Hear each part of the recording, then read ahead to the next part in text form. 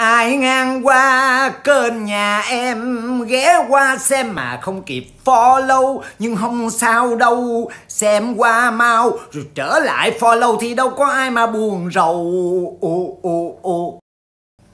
Dạ em xin trân trọng gửi đến mọi à, à, tăng tăng tăng tăng tăng tăng à, lời à, cảm ơn sâu sắc bởi trong vòng 26 tiếng à, TikTok em được một triệu follow, nên em vui quá. Chừng, tần tần tần tần tần à.